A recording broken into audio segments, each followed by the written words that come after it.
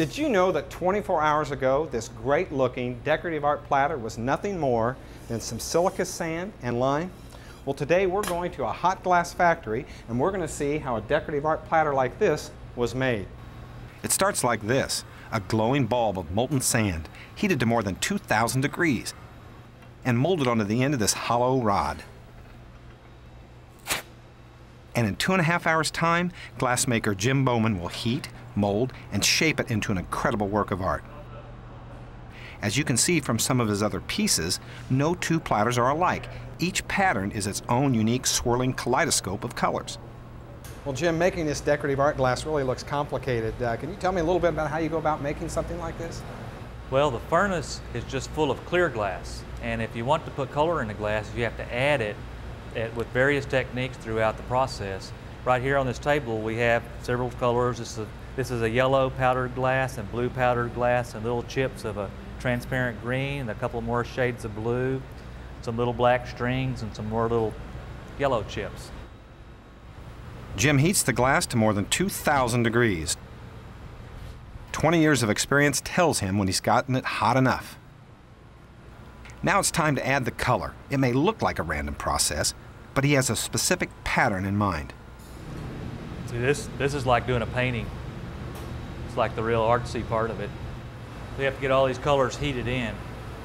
Jim will make dozens of trips between the furnace and the roller table throughout this process constantly reheating, shaping, and blowing the glass. Now, Jim, the glass doesn't pick up any of the uh, burnt fibers from the wood? No. The, uh, the hot glass forms a layer of steam in between the glass and the wood. So it just rolls in this little layer of steam and it it's kind of shapes and uh, smooths out the uh, surface of the glass.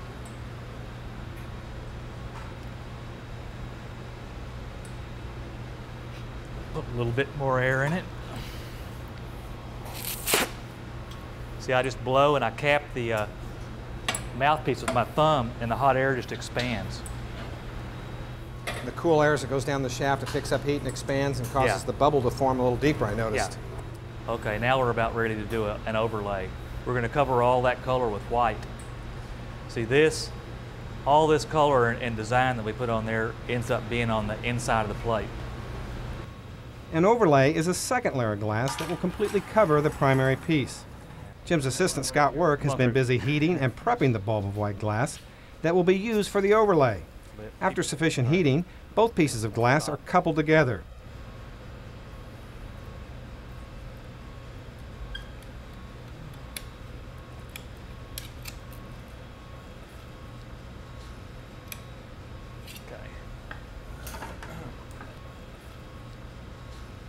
See, I'm sticking this uh, white bubble onto the end of the first bubble I made, and I'm going to crack it off of this uh, pipe that's got the white bubble on it, and I'm going to actually turn the white bubble inside out to uh, cover up the other one.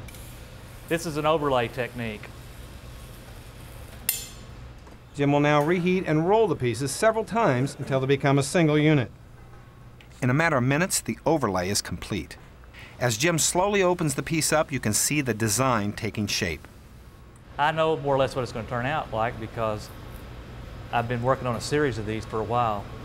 This piece will be put on hold for a while, stored in a kiln that will keep it at a constant 950 degrees.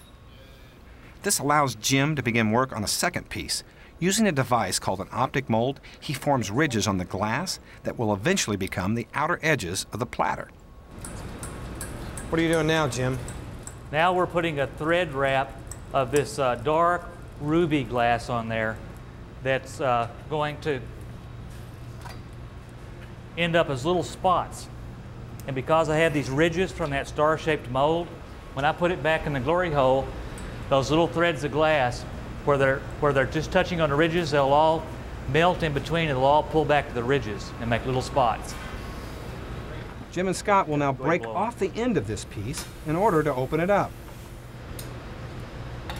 Now, come on, baby. There we go. That's what it's supposed to do. See, there's a little hole in there. Scott has retrieved the center piece from the kiln. Now he and Jim will attach the two pieces together.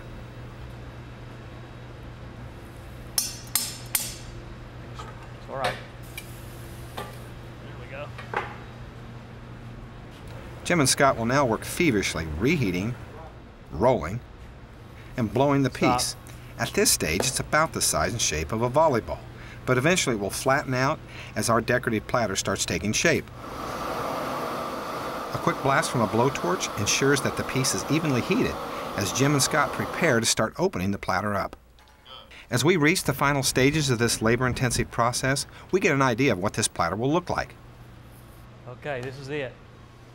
After one last reheating, the platter finally flattens out as Jim and Scott prepare for the trickiest part of the job. One wrong move here and the piece could be a total loss. Okay.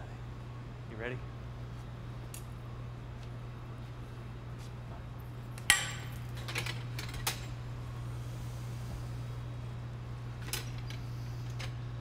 All right. Can we take a look at it? Sure. You ready? Yep. Stand back. It's hot. The temperature inside this kiln is 915 Well, degrees job. Fahrenheit. The platter will stay in here overnight as the kiln gradually cools down to room temperature. The platter then will be ready to adorn the wall of someone's new house, possibly yours.